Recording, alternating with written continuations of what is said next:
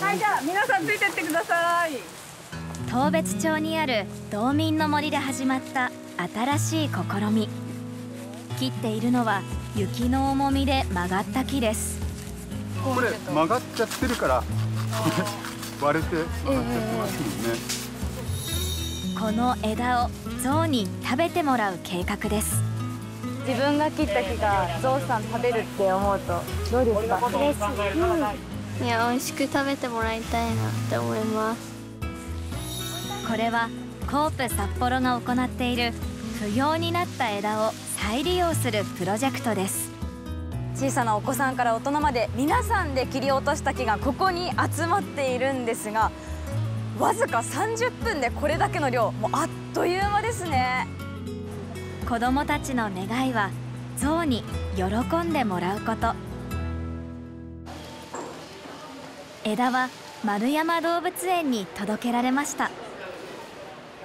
枝を立てて野生の象が暮らす環境を再現します。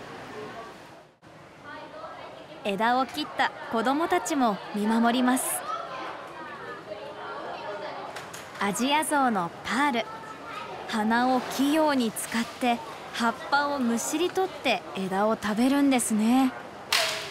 1日に必要な食料はおよそ80キロ。果物や野菜だと偏った食事になります。野生の像を考えるとあんなに赤々したりんご甘くて美味しいりんごだったりあのしっかり熟したバナナなんかを食べる機会ってまずないのででもやっぱりあの栄養面像の体のことを考えるとできるだけそういった自然に近いものもう全部の餌を枝にしたいっていうぐらいではあるんですけど美味しそうだった。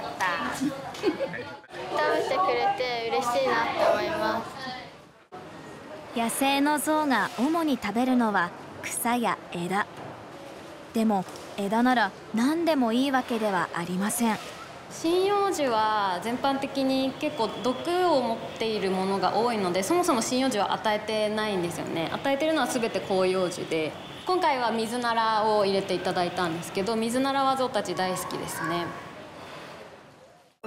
北海道で植樹に利用されるのはカラマツなどの針葉樹がほとんどです。成長が早く40年ほどで丈夫な丸太になるからです。一方広葉樹は成長に100年かかる木もあります。育つのが遅いので植樹にはまず選びません。ではなぜコープの森には広葉樹を植えるのでしょうか？北海道のもともとあった森に近づけるっていうことをイメージする、ね、単に木が生えて森になればいいよっていうんじゃなくて、まあ、だんだんそのより北海道のその自然状態に近い森に戻そうっていうことを、まあ、ここ10年ぐらいどんどん変わってきたっていうところですね。植えるだけでなく木の成長を確かめて森の完成を見届けたい。目指すのは次の世代につなぐ森づくりです。6月コープ札幌の主催で植樹が行われました。用意したのは北海道を代表する針葉樹の赤エゾマツその他は広葉樹ばかり7種類です。基本的には参加した市民が苗木を選んでいますが広葉樹は簡単に手に入るものではありません。苗木業者では扱っていない木がほとんどです。これそれはカツラカツラです。広葉樹の苗木は4年かかってこの大きさ。立派な木になるのは何十年も先のことですただの植林じゃなくてこうちゃんと森として完成するっていうのを聞いていい活動だなと思いました。娘が今日植えてくれたので娘が大人になってもこう森がちゃんと育って遊びに来れたらすごくいいなと思います。この森づくりは広葉樹の苗木を確保することから始まります。担当しているのは雪印種苗の木村さんです。恵庭市内のビニールハウス。先々の植樹に向けて新しい苗を育てています。種が売られていなければ木村さんが近くの森から種を拾って発芽させます。ライカバタのマカバって言っててさこっちのちっちゃい双葉はこれですね。今年の春に種まきをして3週間ぐらいですね。コープ札幌の取り組みは地球温暖化防止などのため2008年から始まりました。この森づくりは道が企業と自治体などをマッチングする事業です。コープがこれまでに道内で植樹した森は16カ所に上ります。活動資金は店でレジ袋を買わなかった人1人につき0.5円を積み立てて森づくりに充てています。コープ札幌が0.5円を基金化して、えー、森づくりをするっていうのが始まったのがきっかけ。環境活動っていうのはねまさに、まあ、人と人人と未来をつなぐっていう、まあ、私たちの理念に沿ったあの代表的な取り組みなのかなというふうに思います。今年の植樹では300本の苗木が用意されました。水ならを植えているのは木村優さん11歳。お父さんは苗木を担当している木村さんです。植樹するのは2017年に続いて2回目です。当時は5歳。手にしているのはホウノキです。2人は6年前に植えた場所を探しました。なんとなくこう斜面のとこだったのでこれがホウノキです。あなたが植えた時は多分これぐらいのポットポット内で。今日印象に残ったのは？えっと前植えたかもしれない木が見見れたことです。どうなのさ？でかくなってた。本当森になるまでまだ何十年かかるかな？今日植えたらもうどうなるんだろうね。また見に来ない。うん。今は見下ろすホウノキもあと数年でゆうさんの背丈を追い越します。コープ札幌は毎年エリアごとに植樹をしてきました。年代によって木の成長する度合いは違います。こちらの森は植樹をするだけではなくその木たちがどのように育つのかを見守っていくという狙いもあるんです。参加した人の楽しみは森の観察です。これくるみね根元を見るとぐにゃぐにゃでしょ？ここは雪がすごく多いので雪でこう若い時にこんななっちゃうの。ちょっと触ってごらん。ペトペトするよ。やっぱり虫が来ないようにとか。木や草もね結構ねやっぱりさすがに食べられるの嫌だから いろいろ工夫するんですね。くるみさんって実はねこれが1枚の葉っぱです。まあ言ったら1枚にこうちょきちょき切れ目を入れて作ったみたいな。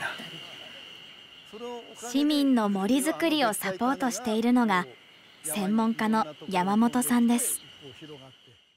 どんな森にしたいかを考えてでそれはやっぱり人間が考えるこうなってほしいと。それからその自然の環境の中で例えばここの小さなとこでも湿っぽい場所とか乾いてる場所とか条件があるので実は木はそれに合わせて選ばないといけないんです。エリアごとに適した木は何か。専門家のアドバイスを聞いて植える木を選んできました。ちょっとここ湿っぽい場所なのでヤチダモなんかが生えてますけれども。ヤチダモってヤチって北海道で湿地って意味ですね。拳です。下拳。まあなるべく湿っぽいところで生きられるやつは選んでます。まああと30年頑張ってくれたらいい感じになるかなと思います。30年。せっかくみんなでデザインしてきた森ですが思い通りにいかないこともあります。今触った木は白樺ですけどこの辺は多分植えた後に外から種が飛んできて生えた木です。左が植えた白樺。右は勝手に生えた白樺。植えた白樺は細く曲がっていますが後から生えてきた野生の白樺の方が太くて立派に育っている。なんとも皮肉な話ですでもさすっごいあまっすぐ伸びてるからか。すごい立派で、うん、こっちの方がね巣は立ってるやつね、こっちの方でしょ？そうそうそうそう。あれがない時に植えてるそうそうそうそう。こっちはもう何歳かの苗を植えてるわけだから、こっちの方が絶対年上なのに。森づくりで感じたのは自然の力。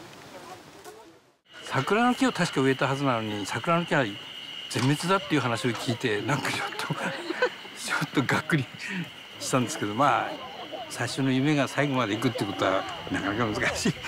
人生とないですかね。変わりましたね。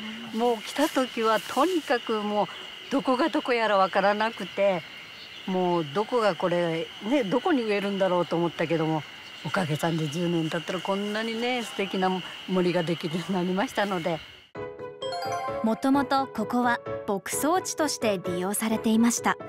最初はどこに何を植えるかみんなで何度も歩いて考えそして繰り返しアイデアを出し合ってきたのです。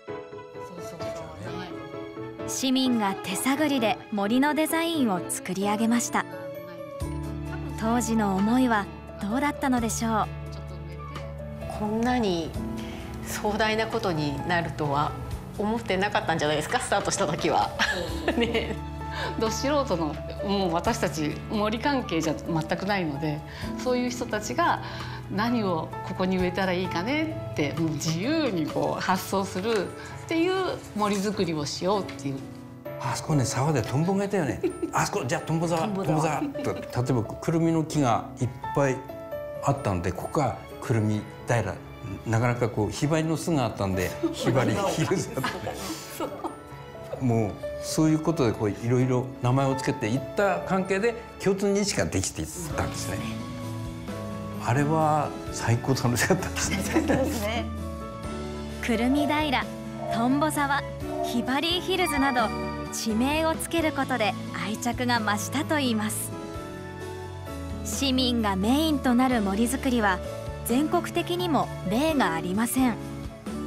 これって100年後にどんな森になるんだって ちょっと心配した方がいたんですけど。でももうなんか自分たちの思いがねここに入ってるから。まあ100年なんてとんでもない。20年だってこれから10年だっていけないかもしれないんですけど。植樹祭に来た時ね小学校とか幼稚園の子どもさんたち来てるからその人たちが50年後かに見てくれるとちょっと。いい森になってるかもしれませんけど。これからが楽しみです。とにかく。7月の観察会です。え何？これはミレという木ですね。ミレ。これがね長生きするから大きくなるとこんなでっかい木になる。かもしれない。これぐらいになる。もっと太さがこんなになってだからここにいろんなのが植わってますけどじゃあ100年後どうなるかって正直言って予想つかないです。100年後生きる？100年後？生きててくれ。生きる？あんまり自信ない。見といて。本当そうなんですよね。まあ我々はせいぜい10年20年30年ぐらいしか見れないですけど今子どもたちは100年はともかく50年60年後は見てもらえるんで、まあ、その森をあのどうしようかって思ってくれればいいかなと思います。これは頬の木って言います。山本さんは地元旭川でも毎年森の観察活動を続けています。僕らも森を作るだけじゃなくて森のことが分かってる市民を増やすっていうそれがすごく大事なことだと思いますし市民のその森を見るとか感じる力って非常にあの結構強いいいいいレベルにあると思うのでその素人的感覚と専門家の知恵とうまくこうバランスよく混ぜていくと面白いことできるんじゃないかなと思います。私たち人間の営みに比べて森が育つには長い年月が必要です。森に学んで人は育つ。コープ札幌の取り組みは森と人の新しい関わりを教えてくれました。